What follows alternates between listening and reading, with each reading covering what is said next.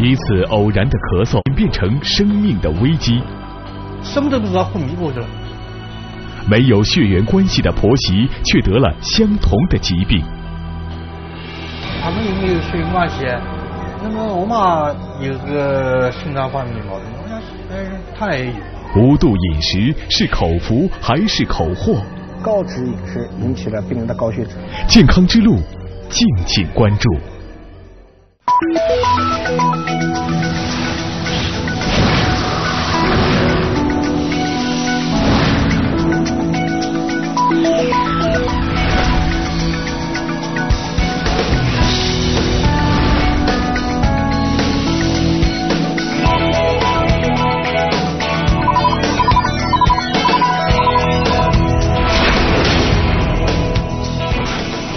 医生天天来帮助。哎，现在呢，我们会发现这样的一种奇怪的现象哈，就是一旦一个人被检查出得了某种疾病之后呢，陆陆续续啊，这个家族的其他的成员也发现得上了这样的一种病，所以这个挺奇怪的，为什么呢？嗯，那这个在我们医学上叫做家族性疾病，因为有一些疾病啊，它和这个遗传有关系，还有一些呢，可能和这个生活习惯、居住环境有关。你比如说，这家人啊喜欢烧这个蜂窝煤，结果一家人肺都不好。嗯，那在今天的节目当中呢，我们也要带大家去认识一个家庭，看看在这个家庭里发生了什么。这是一个再平常不过的下午，张女士像往常一样在睡午觉，但一阵剧烈的咳嗽把她咳醒，她觉得胸闷，有些喘不上气来。随后，她的丈夫发现她坐在床上疯狂的摇头。咳的呢，我也没在意，我想她咳嗽肯定是失凉了，可以可来，弄了药吃。开始，丈夫以为妻子是感冒才会咳嗽、头痛，休息一下应该会好。但一个小时后，丈夫发现妻子已经喘不上气了，情况很不正常。张女士的反应吓坏了丈夫，随后丈夫紧急拨打了幺二零急救。当时认为是个呼吸道的毛病或者肺炎，照片呢也发现肺部有大片的阴影。呼吸科医生针对张女士的急性肺浮肿进行救治。但随后医生发现，张女士的病因好像不在肺上。这时，张女士的神志已经出现了昏迷。人已经接连昏迷，睡不连睡不什么都不知道，昏迷过去了。医生根据经验断定，张女士肺浮肿的背后必定有个凶猛的病因在作怪。随后，心脏科专家开始为张女士会诊。通过检查，心脏外科的医生发现，张女士的心脏已经严重衰竭。张女士出现心脏病，这一结果让病人的家属很难接受。我们生活在一起这么多年，没有发现她有这个心脏方面的事情。她这个就觉得我平时很好啊，就说就是这次有点咳嗽胸闷来的。张女士出现严重心脏衰竭已成定论，但是什么原因导致心衰却不明确。此时，张女士已经进入昏迷状态。如果查不出病因，他的心脏随时可能停止跳动。时间已经不多了，医生决定立刻为他做心脏造影检查。那么他做了以后就发现是个冠状动脉的三支病变，就是所有冠状动脉都有病变了，而且是很严重的。看到检查结果，丈夫才确信妻子有心脏病，但他还是想不通，妻子一贯身体健壮、精力旺盛。怎么突然就要面临冠心病抢救呢？现在张女士处在一种非常危急的状态哈，之前无非是一些小毛病，到最后怎么会昏迷不醒了呢？今天呢，我们也请到了对张女士一家人都了解的，来自于江苏省中医院的陈振强主任，欢迎您，陈主任。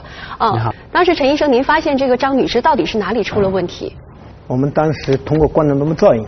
就是明确了它是心脏冠心病，而且是多我们叫多支病变，心脏的三支主要血管全部堵了。实际上我们就是说供应心脏的血管出现了问题，出现了堵塞，然后这个心脏就不能正常的供血了，就像一个汽车发动机一样的，它的输油管被堵了，没有这个油供应进去，这个发动机就不能转了。啊，咱们结合着您这个面前的模型，再跟大家讲解一下哪里出了问题，就可能是冠心病。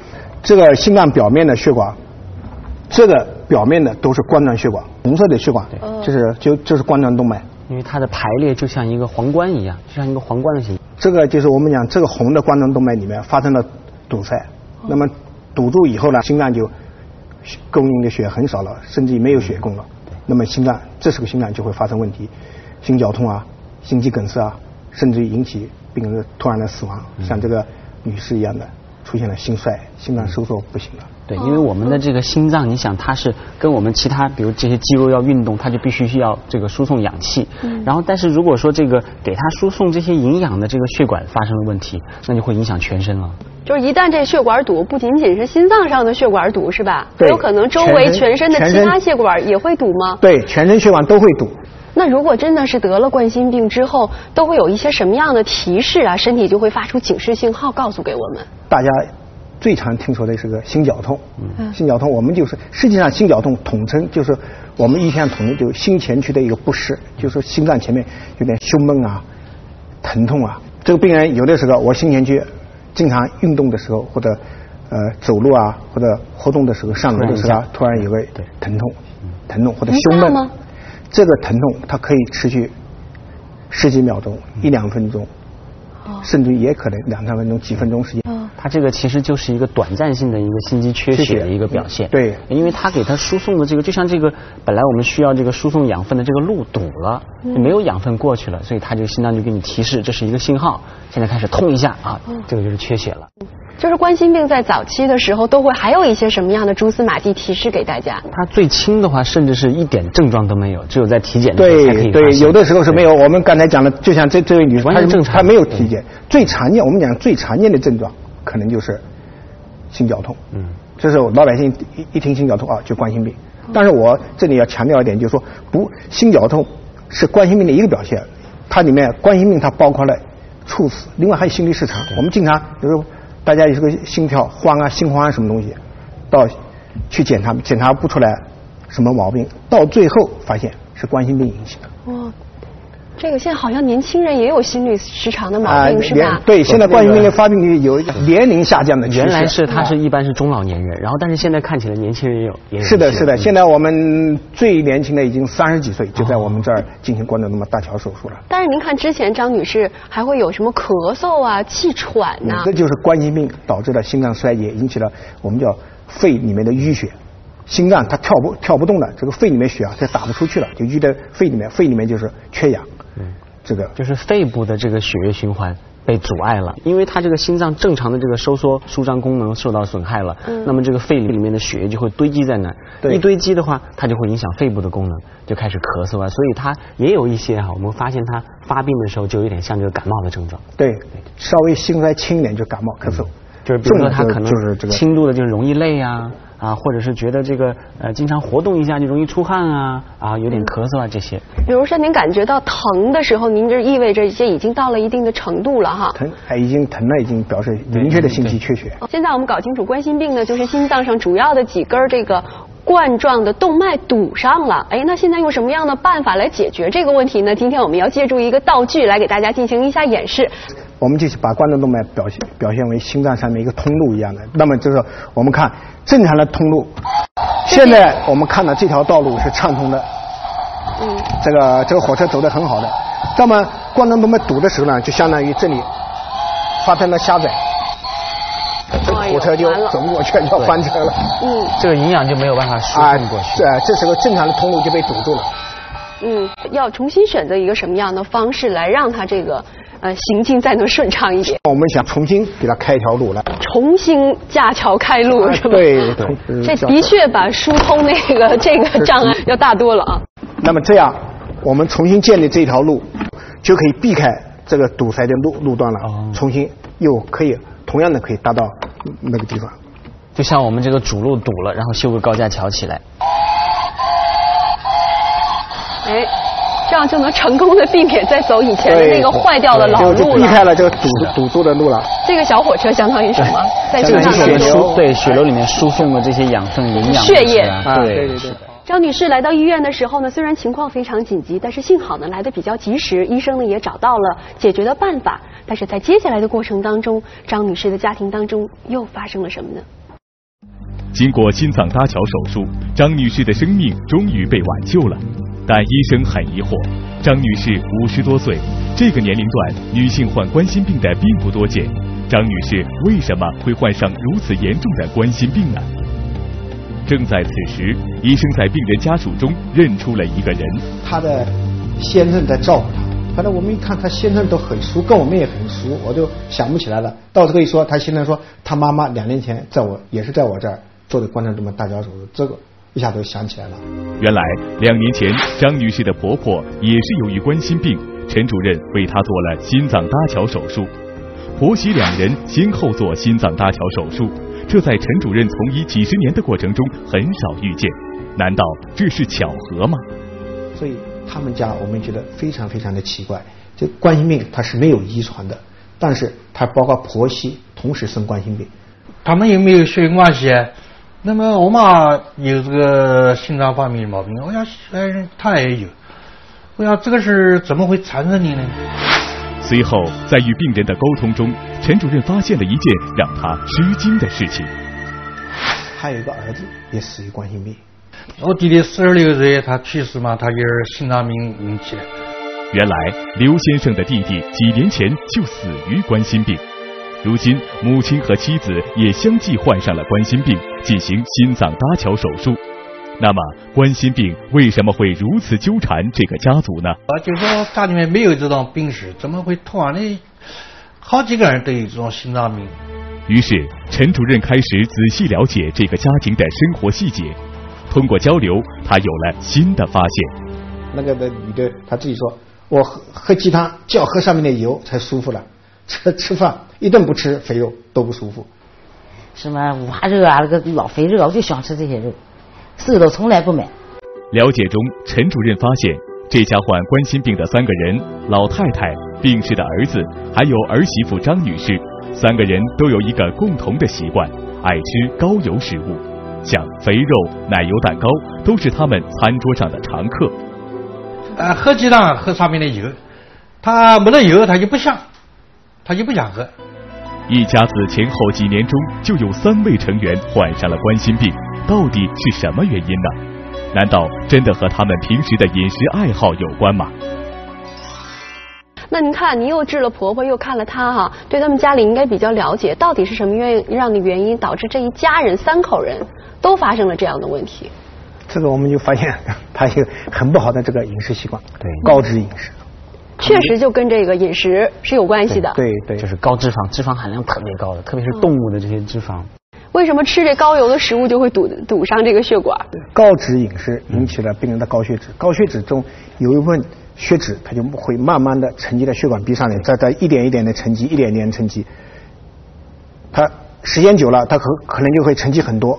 这个堵塞越来越厉害，有的时候呢，它还可以多处的沉积，就是多处都在沉积，一根血管上沉积了很多很多处的一个狭窄。是早期的时候，可能就是这个血流稍微稍微有一点受限，等到它这个严重了之后，整个这个血液的循环就受到就就被阻断了。这里有一张示意图给大家看一下嗯，我们的正常的这个冠状血管里面应该是口径是比较大的，这样能够通过的血流比较大。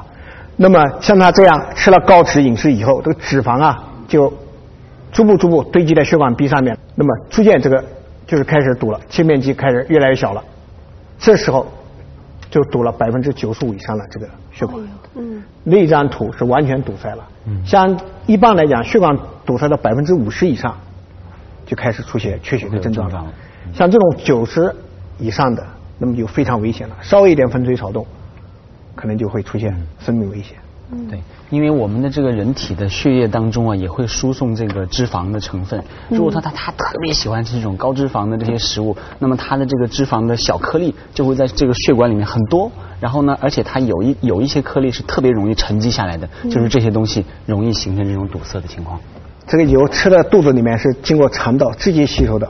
我们有一个病人，明天手术了，家里面今天说是给他营养营养，今天带出去吃饭。吃饭，吃完饭回来急性心梗，我们当时抢救他，给他抽血，一抽血，一管子血上面半管子上面是油，哇，是高血脂，那么明显的对对对，我们医生见了都怕，这么多油，对这种就很容易沉积下来，就很容易堵住，还会同时还会破坏这个血管血管的内壁，然后呢也会产生一些损害，然后这种一破坏之后我们要修复它呀，一修复哦又堵一又堵一团起来，所以它就是一个恶性循环了。现在你看的那个呃张女士，感觉她的这个体重也非常的大哈，人比较丰满。那像这种肥胖，是不是跟那个冠心病也有必然的一些联系？就是说长得胖的人有可能就会得上冠心病。冠心病的危险因素里面有很多，包括了高血脂、肥胖，这些都是因为现在这通过这医学调查下来，这些特别是像高血脂、肥胖，它这个肥胖的人跟正常体重的人的冠心病的发病率是远远不一样的，大概要两到五倍左右。哇，那要是如果减减肥或者是改吃素一点的东西，会不会那血管里的这个堵塞的垃圾啊会少一点儿？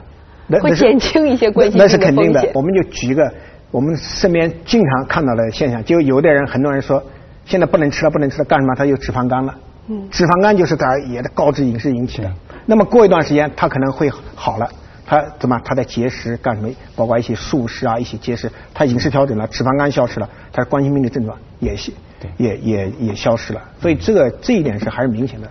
但是这个冠心病的治疗，它是一个综合性的治疗，一方面饮食要控制，改善一些这个饮食结构，改善一些不合理的饮食结构，对啊，一些还有一些生活习惯啊，吸烟啊，熬夜啊，这都都是会一个还有适量的一些运动，对适量的运动，对对嗯非常非常重要是。然后吸烟和不吸烟的人相比，他的这个几率也是可以增加两到三倍。对，那他们我看到很多吸烟人都特别瘦啊，也有的人不愿意吃这种大鱼大肉的，那怎么还会得冠心病呢？吸烟，烟会产生大量的一一氧化碳对，那一氧化碳它对血管的这个呃破坏是血管内皮的破坏是非常明显的。嗯另外，这个一氧化碳就是包括一些尼古丁啊，吸入血液以后，它对一个血脂它很有影响。就吸了大量的一一氧化碳和尼古丁之后，这个好的这个脂蛋白越来越低，好的脂蛋白就可以清除血管的这个垃圾的。哦，这个坏坏的这个脂蛋白，我们叫低密度脂蛋白，它会沉积在血管里面，它越来越高，它所以就沉积。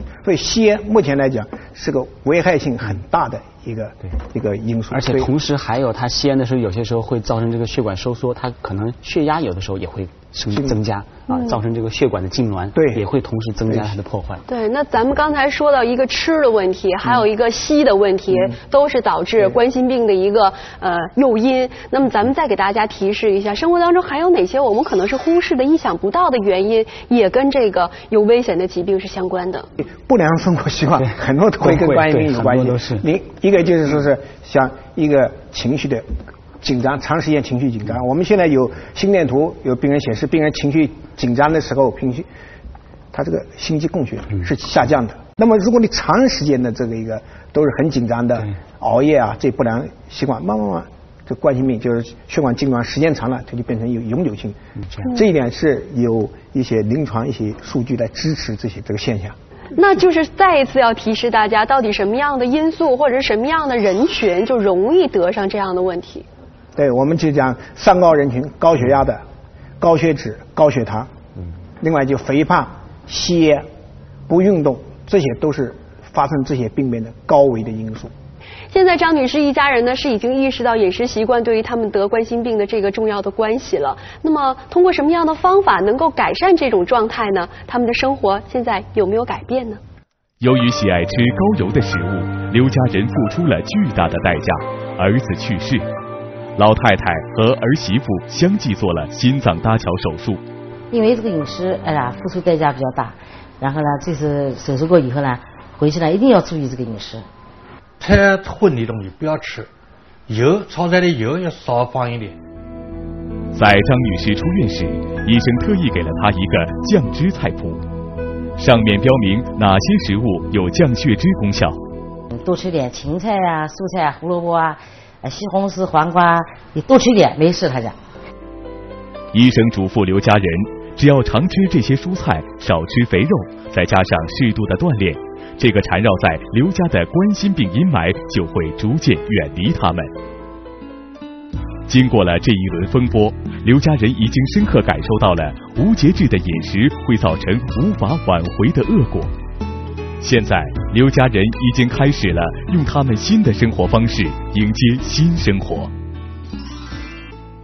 看来呢，这一家人经过这样的一次折腾之后啊，的确是已经意识到了吃的和冠心病之间的关系了。也希望电视机前的您呢，也能够看到这个警示之后啊，调整自己的饮食习惯。那么关于冠心病的问题，你还有哪些想了解的呢？那么你想知道，我来问。接下来呢，进入到专家的快速问答。哪些症状预示着您的心脏可能出问题了呢？胸闷、心慌、气短这些症状提示可能有心脏病的存在。男性和女性谁更容易患冠心病呢？男性更更容易患冠心病，男性发生冠心病的几率高于女性的四到五倍。心脏病的人到底该不该运动呢？应该要运动。我们强调适度的运动，进行一些舒缓的运动，以不出现这胸闷气短的这些运动为主。特别强调一下，不要为了试着看一看这个心脏好不好去进行一些。运动进行测试自己的心脏功能，这是一种非常危险的举动。经常胸闷、心慌，但是到医院呢却检查不出来问题，是怎么回事呢？要看这部分病人是不是冠心病的高危人群，如果有有一些高危因素的存在，我没有做冠状动脉造影检查，我们建建议他做一做冠状动脉造影检查。心脏搭桥后，血管还会不会再堵呢？会的，所以搭桥以后，我们会建议病人。长期吃药来维持血管的通畅性。得了冠心病后还能吃肥肉吗？嗯，尽量少吃肥肉，最好不吃。有人说吃巧克力对心脏好，对吗？哎，有的说巧克力有一些好处，但是巧克力是个混合性的东西，目前里面有糖啊，也有脂肪，所以我们建议尽量少吃。急性子与心血管疾病有关系吗？有关系。目前发现冠心病的人群当中，百分之九十以上都是急性子。嗯，好的，谢谢您，陈主任。好，让我们来回顾一下本期节目的要点。